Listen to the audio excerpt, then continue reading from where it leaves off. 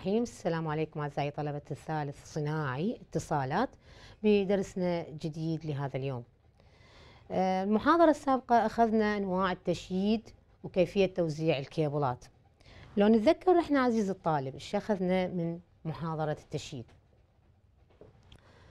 اعتيادي إحنا حنسلك حنسلك الكيبلات اللي تخص البدالة. تخص البدالة لو فرضا إنه هذه بدالة وسلكنا إلى المنطقة الموجودة في المشتركين. عزيزي الطالب لازم تخلي ببالك إنه الكيبل النازل من البدالة قطرة يكون كبير قطرة يكون كبير وفيه عدة بيرات أو أزواج من الأسلاك. فبهالحالة نحتاج إلى التشييد مثل ما قلنا سابقا إنه تشييد أرضي بعمق واحد متر. يسلك هذا الكيبل اللي يكون وزنه حتى يعني ثقيل أيضا فيسلك عبر الهولات أو المجاري الكونكريتية. هذه كلها مجاري كونكريتية وهولات وقلنا سبب استخدامنا للمجاري الكونكريتية والهولات إنه إحنا نحمي الكيبل وصيانته تكون أسهل للكيبل كذلك عدم آه، مساوئ كثيرة بالنسبة للكيبل إذا كان موجود في ال hole أو المجرى. نلاحظ أن الكيبل اللي جاي من البدالة ذا قطر كبير ووزنه ثقيل أيضا يتسلك حسب المنطقة اللي أنت تريد تسلكها. نأخذ junction هذه هماتين junction هاي junction نقاط ربط. وحتى من عندها نقدر هماتين نسحب البيرات اللي إحنا نختارها. فاعتيادي لما أنا وصلت للمشتركين بهالحالة حيكون على سطح الأرض والتسليك رح يكون هوائي. تسليك بهالحالة حيكون هوائي. فنحتاج إلى أعمدة أعمدة إما تكون من الحديد أو ألمنيوم أو تكون من الخشب. حتى تحمل لي هذا الكيبل اللي طالع من الكيبل الرئيسي اللي في المجرى. عزيزي الطالب اعتيادي أنت هنا الكيبل راح يكون قطره أقل حسب ما أنت محتاج. يعني أنا أريد أسلك هذه المنطقة بعدد البيرات. طبعا عددها يصير أقل من القطر الكيبل اللي مجهزته البدالة. فاعتيادي ان أنا حيكون التسليك عبر عبر العمود. هذا العمود بتقسيم تقسيم. يعني أقصد بالتقسيم أنه أنت عندك تقسيم لعدد البيرات أو الأزواج الموجودة لعدد المشتركين في هذه المنطقة المحددة. يعني اني هذا التقسيم حيحدد لي مثلا فد 40 مشترك. 40 بيت محتاج إلى تسليك وايرات الهواتف. فاني هذا التقسيم مجهز مو مو ب 40 وإنما محت... يعني ب 41 42 على مود يصير عندك spare مو بس آه تجهيز كامل. فنرجع للتقسيم.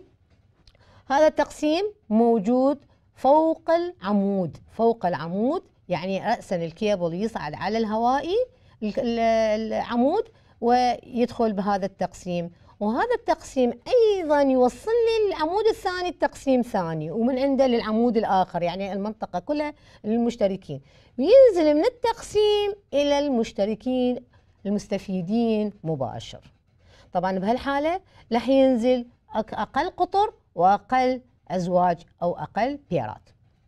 فبهالحاله راح يتجهز المشترك عبر الهذا لو فرضا إنه آني صار عندي خلل في في في هذا الخط. فأول ما يبدي بالصيانة مالته يفحص جهاز الهاتف. ورا جهاز الهاتف يشوف إنه أكو تون هنا أكو دايل موجود في التقسيم اللي جايني من إلى البدالة.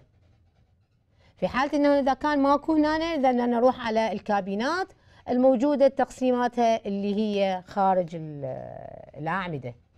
ومن عندها إلى الهولات وهكذا يتم الفحص تدريجي. فيكون الفحص مالتنا سهل وسلس بالنسبة للعاملين الموجودين. هذا كل ما موجود بين التشييد أو التوزيع بين البدالة والمشتركين. إذا أنا أحتاج إلى تشييد أرضي وتشييد هوائي. لو أفرض إنه هذه الكيبلات هل لها خصوصية؟ هل لها أنواع؟ هل هي أني أحتاج كيبلات خاصة بقسم الاتصالات؟ يعني ما بين البدالة والهاتف؟ أم هي أي كيبل أنا أستخدمه؟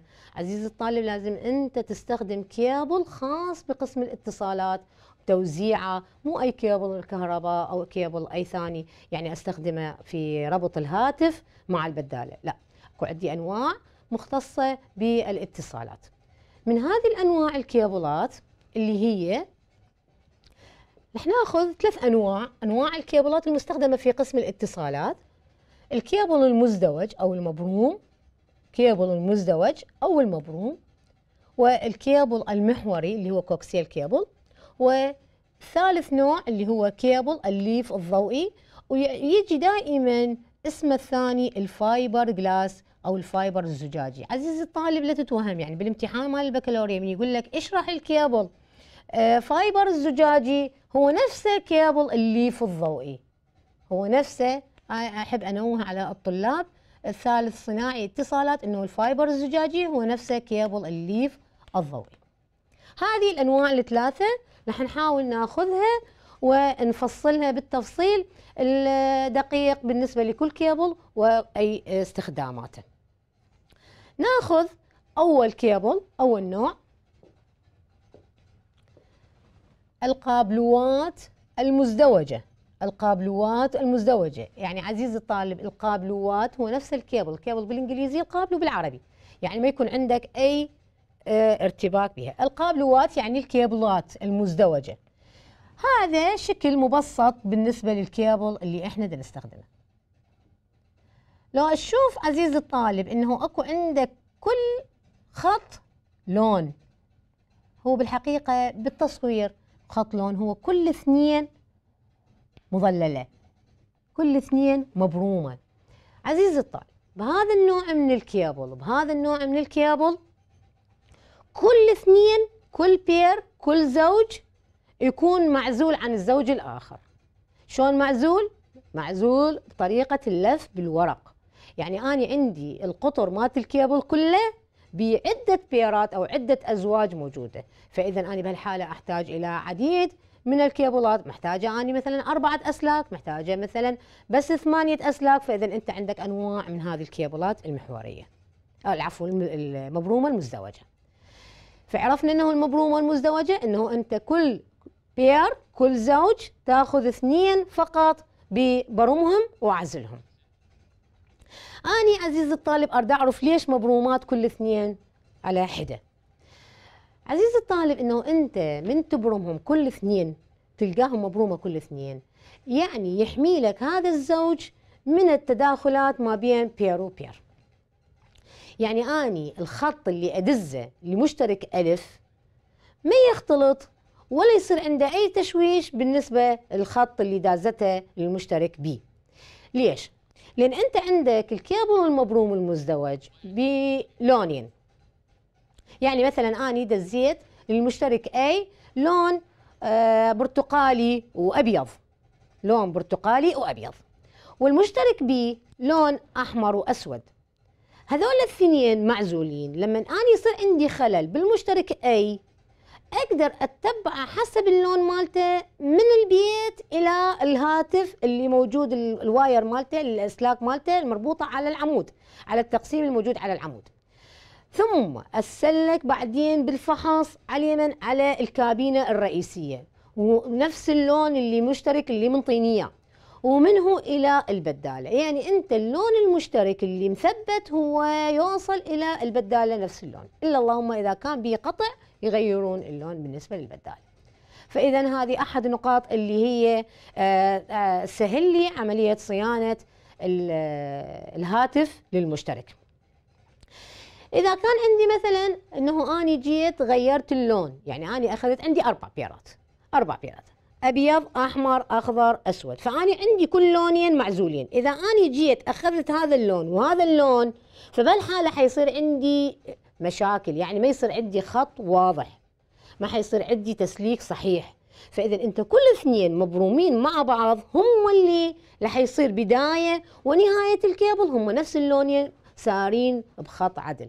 فإذا عندك أنه أني أحميه من أي تداخل من أي موجات كهرومغناطيسية أي إشارات وكذلك حماية أنه أي تشويش ما يصير وصيانته تكون كل سهلة بالنسبة للفنيين الموجودين في البدالات.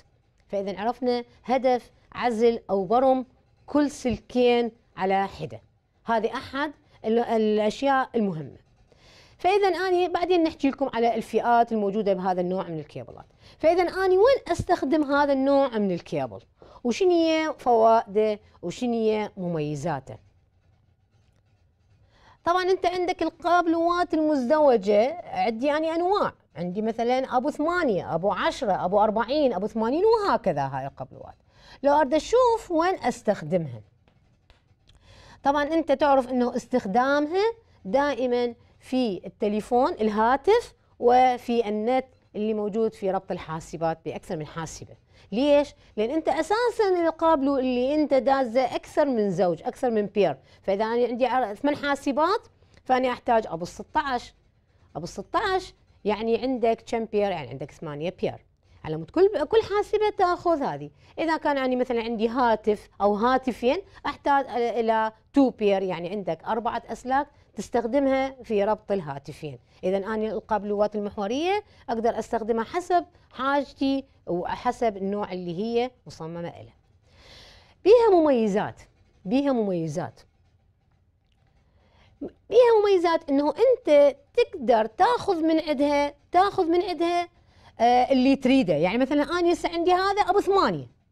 هذا أبو ثمانية. أنا ما أستخدم الثمانية كليتها. لازم أخلي لي فد خط فالزوج spare احتياطي. ليش؟ لأن افرض انه انت عندك صار واحد من العطل فما معقولة تبدل الكيبل كله على مود عندك pair واحد صار به خلل أو قطع أو أي إشكال صار عندك به فإذا أنت عندك spare تلغي اللونين لازم تلغي وايرين لازم تلغي سلكين. ال pair كله تلغي. فأنت تلغي هاي السلكين يعني وتستخدم السلكين المبرومة الثانية بدل ذولاك السلكين العاطلين. هذا آه، الصفات اللي بيه حلوة وبكون سهل ومرن وحتى يعني يكون آه، استخداماته آه، بالدور وبالدوائر وبالمحلات سلس وحلو. يعني شغله ربطه حتى ربطه سهل. طبعا بيه توصيلات.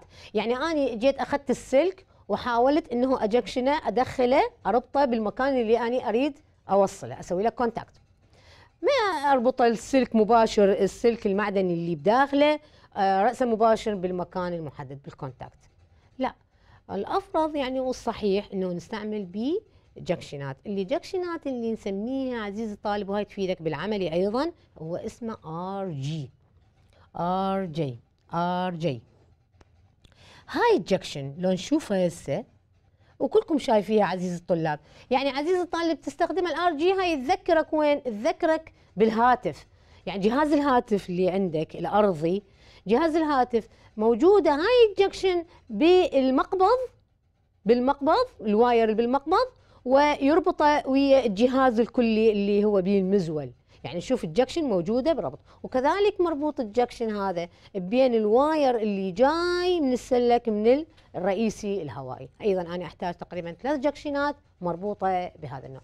أما إذا أنا احتاجت للحاسبة احتاجت آه، التليفون ويا الحاسبة البدالة بها أيضا بدالات داخلية صغيرة تكون يعني مثلا أكو دوائر عندي بدالات صغيرة تصير خدمية تليفونات فأنا أحتاج إلى هذا النوع من التسليك وهذا النوع من الجكشنات كلها نفس الجكشن؟ طبعا لا. ماكو شيء شيء لكن أنت عندك أنواع وكل من له استخدامه. فاني عندي نوع RJ. هاي أحد التوصيلات. بس هي كلها نفس التصميم ونفس الهيئة. فعندي RJ 11 و RJ 45 RJ 11 دائما نستخدمها إحنا بالحاسوب بالتليفونات. و RJ 45 نستعملها بالنت. يعني شنو RJ 11 و RJ 45 عزيزي الطالب هاي ال junction الموجودة توجد من هنا توجد فتحات. هاي فتحات بيها أسلاك بيها توصيلات. هاي التوصيلات إنه أنت من تدخل السلك من تدخل الكيبل هذا الأسلاك اللي ألوان مالته كل pair من تدخلها بهذا ال junction راح تضغط. تضغط على السلك يعني هو أنا السلك معزول افرض إنه هذا السلك معزول. مادة بلاستيكية. بداخلها هو السلك الموصل للمعدن. من أجيب ال junction وأدخل ال wire بيها راح يضغط المعدن الموجود بال junction على السلك بحيث يوصل يوصل من الرأي من الخارج الطبقة الخارجية إلى المعدن الرئيسي بدون أي صعوبة. يعني بس مجرد تدخله هو راسا يضغط التوصيل مالته. هاي الجكشنات موجودة هنا بداخل ال RJ ليش قلنا 11 وليش قلنا 45 ال 11 وال 45 هنا عندك أكثر من pair يعني أكثر من pair فإذا أنت عندك أحجام يعني مو بس حجم واحد. يعني احجامها تقدر تستغلها بثمان أسلاك. يعني أنا أم ال RJ RJ 11 أربعة أسلاك. يعني بهالحالة أنا عندي أربعة أسلاك يعني كم pair يعني عندك 2 pair يعني عندك زوجين من الأسلاك. زوجين من الأسلاك يعني عندك أربعة أسلاك أربعة أسلاك فبهالحالة أستخدم RJ 11 RJ 45 حستخدم ثمان أسلاك اللي هي ثمان أسلاك يعني عندي إيش قد؟ تصير؟ أربعة بيرات. يعني أني أربع بيرات بهالحالة حيغطي لي ال junction مالتي عند الربط.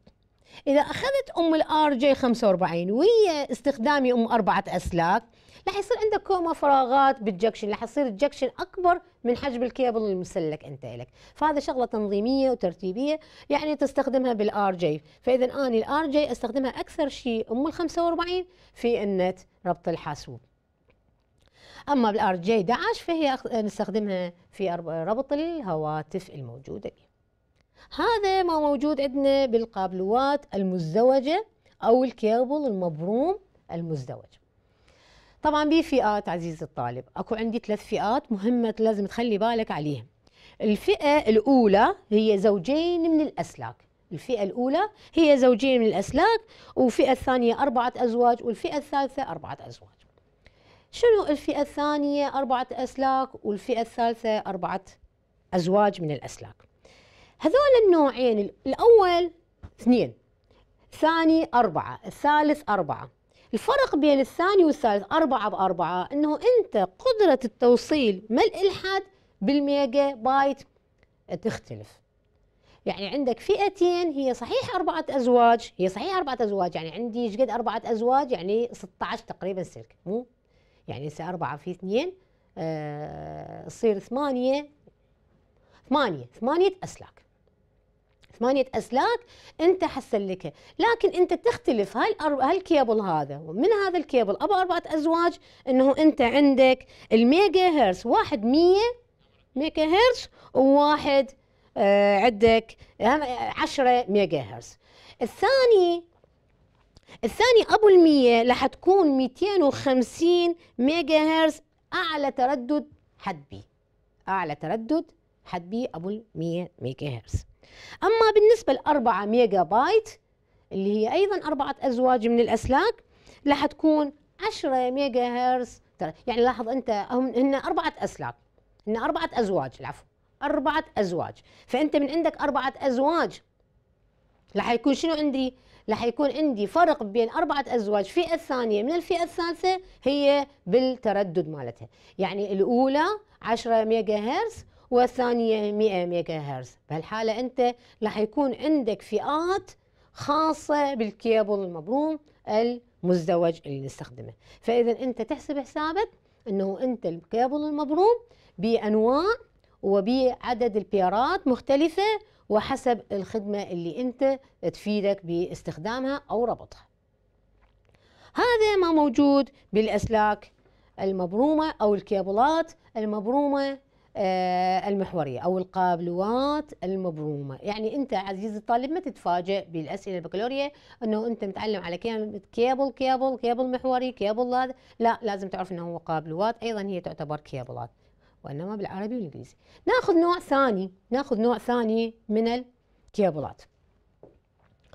الكيبل المحوري. الكيبل المحوري.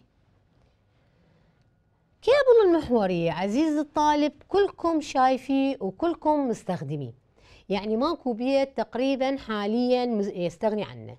لا بيت ولا دائرة ولا مدرسة ولا أي مكان. الكيبل المحوري عزيزي الطالب كيبل مهم استخدامات كثيرة وأنواعه مهمة.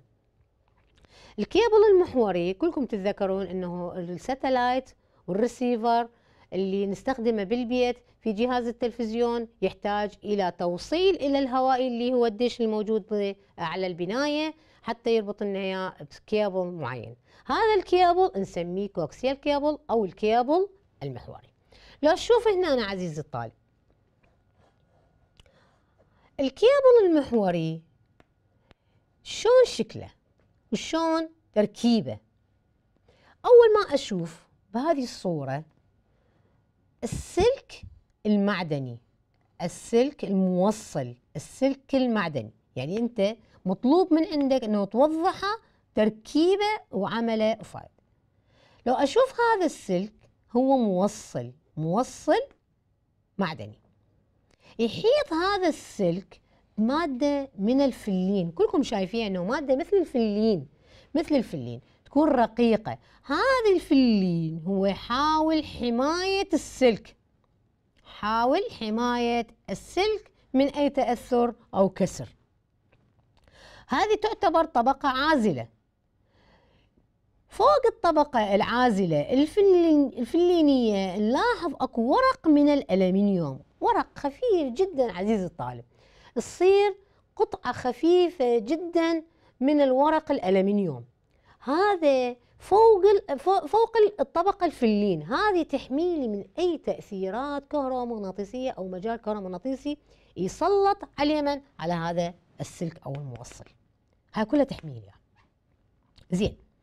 بالنسبة للسلك بالنسبة للورق الألمنيوم يعتبر طرف ثاني للتوصيل. يعني شلون نقول إحنا توصيل موجب وسالب؟ بالضبط. فهذا يفيدني فوق الورق الألمنيوم. أيضا شعيرات رقيقة من الألمنيوم.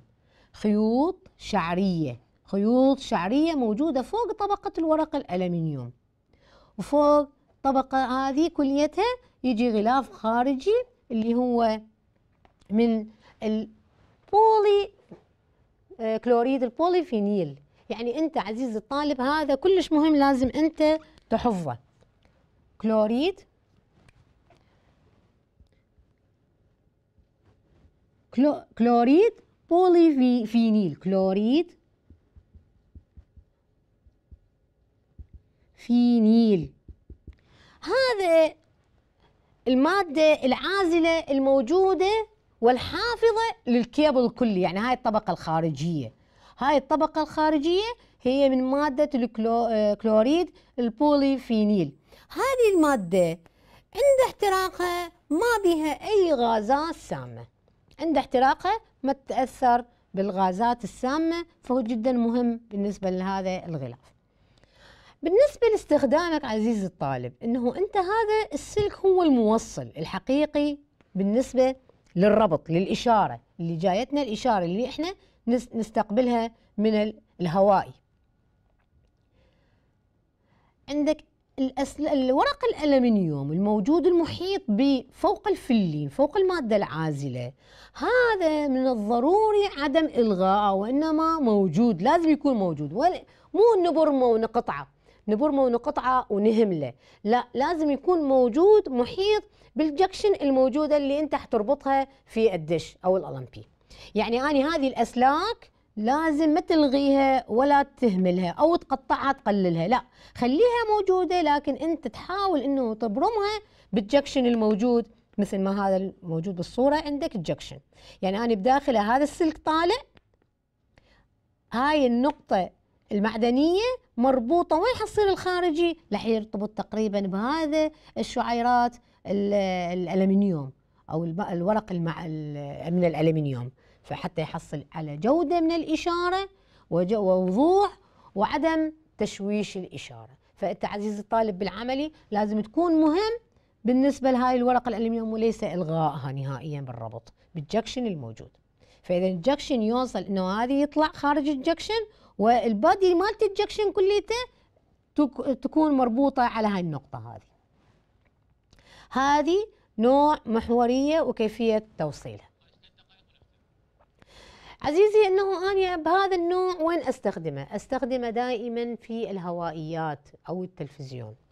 هذا النوع الثاني موجود بأنواع اثنين بنوعين تخلي بالك إنه آني الكيبل أروح أشوف نوعين بي تصنيفه تصنيف 10 base 2 و10 base 10 شنو الفرق بين 10 base 2 و10 base 10 10 base 2 معناتها إنه أنت السلك المستخدم. هذا السلك مالتي. هذا يكون رفيع جدا. سلك رفيع جدا. هذا أحد تصنيفه. أما بالنسبة العشرة بيس عشرة فيكون غليظ. من هو اللي غليظ يا السلك هو نفس سلك التوصيل اللي إحنا نستخدمه. هذا السلك يكون أكثر غلظ ويستخدم في التلفزيون والدش الهواء الخارجي حتى نحصل على إشارة ذات جودة وكفاءة عالية.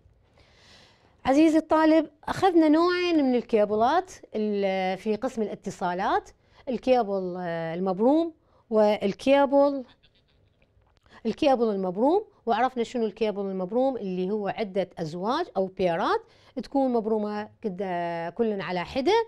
والكيبل الثاني اللي هو الكيبل المحوري أو نسميه coaxial cable اللي يكون هو استخدامه آه كثير في البيوت والدوائر الدولة اللي يستخدم من التلفزيون لإيصال الإشارات ما بين الأجهزة التلفزيون والهوائي الخارجي. عزيزي الطالب هذه النوعين لازم تخلي بالك عليها إنه بيها فئات وبيها تصنيف وتفرق بين فئاتها وتصنيفها حسب ما موجود وحسب آه، طريقة الربط مالتها. يعني أنت مجبر أو ملزم بالكيبل المستخدم اللي أنت تستخدمه حسب نوع ال junction المربوط به. شلون تربطه بالكيبل المستخدم لك هذا الجكشنات أخذناها وتخلي بالك عليها لين تفيدك مو بس بدرس العلوم وإنما درس العملي اللي أنت كمادة بكالوريا. آه، اليوم ننهي درسنا هذا وإن شاء الله نكمل لكم الدرس الآخر السلام عليكم ورحمة الله وبركاته عزيزي الطلبة.